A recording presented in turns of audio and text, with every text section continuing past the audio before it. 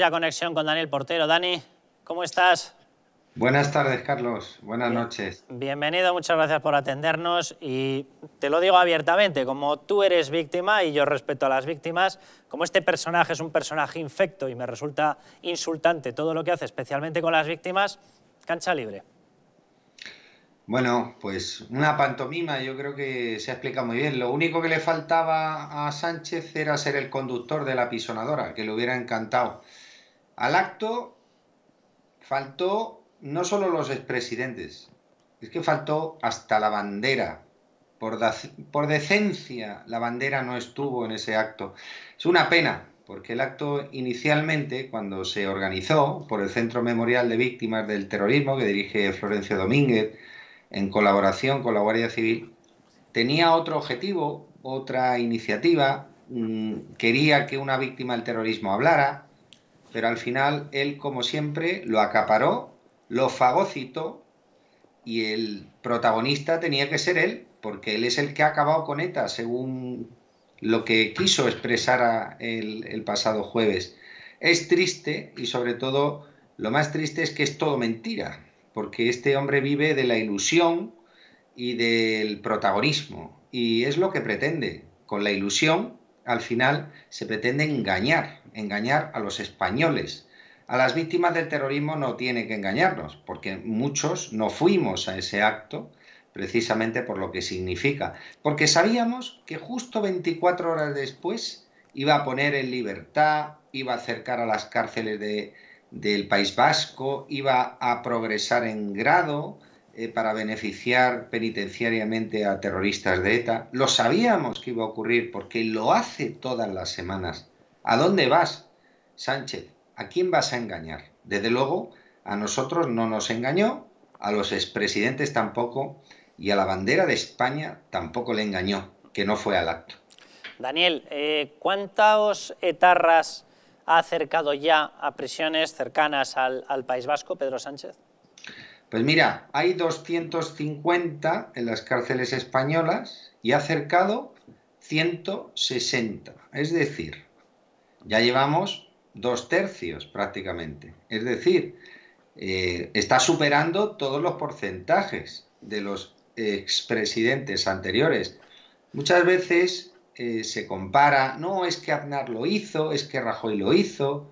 Y yo no, mira, Sánchez va a enarbolar la bandera de la libertad de los terroristas, porque el siguiente paso ya sabemos cuál va a ser, va a ser las transferencias a los gobiernos vascos, al gobierno vasco en concreto, de las, eh, digamos, del control de los presos para dar el tercer grado. ¿Cuántos, sí, Dan sí. Daniel, ¿cuántos, ¿cuántos asesinatos quedan por esclarecer mientras él está acercando a prisiones?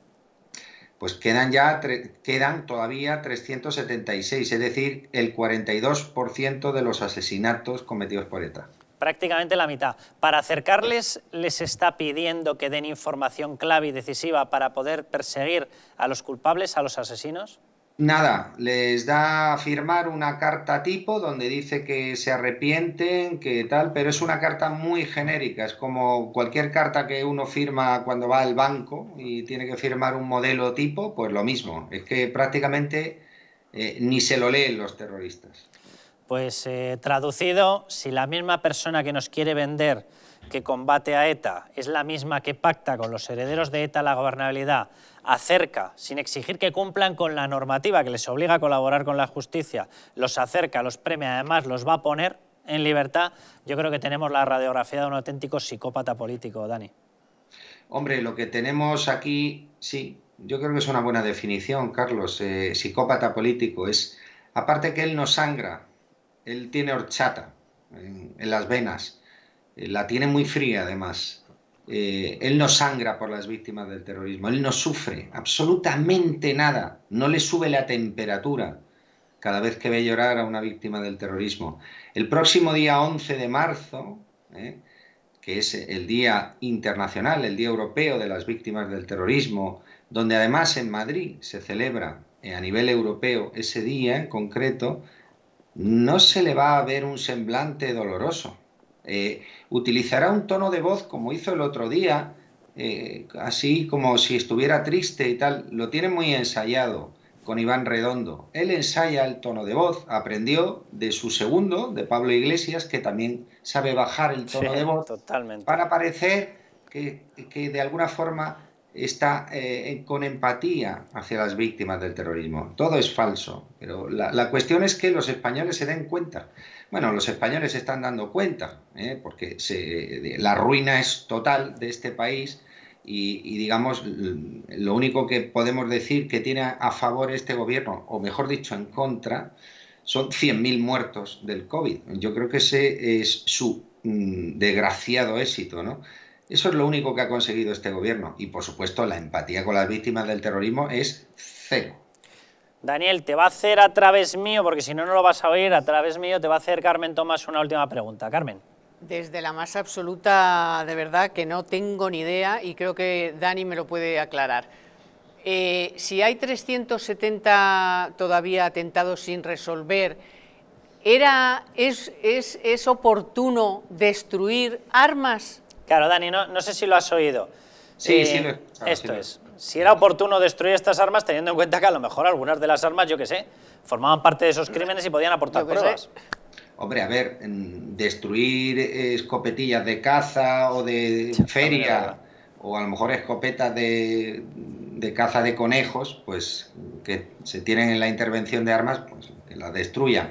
Pero desde luego los subfusiles que había allí, eh, armas que a lo mejor eh, verdaderamente hubieran pertenecido a comandos de ETA, que las había, no tantas como las que se dijeron, eh, pues evidentemente mm, yo hubiera sido más cauto. Yo las hubiera dejado en un museo, em, eh. en algún sitio donde la gente, los españoles de bien, eh, pudieran ver, porque para mí eso es relato, el, haber dejado un museo con todas las armas de los asesinos de ETA, no destruirlas, no destruirlas porque sencillamente hubiéramos destruido el origen de la prueba, ¿no?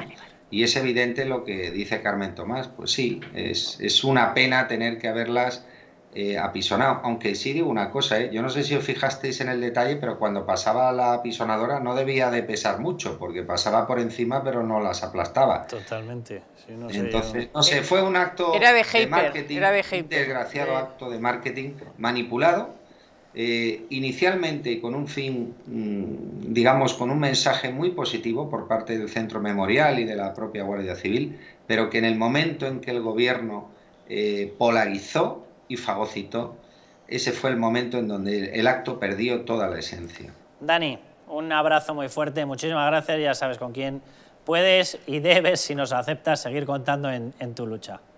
Bueno, algún día nos veremos en la calle, en Colón, en todas las calles de Madrid. Cuando podamos salir después de la pandemia, tendremos que hacerle saber a este gobierno infame eh, lo que está haciendo.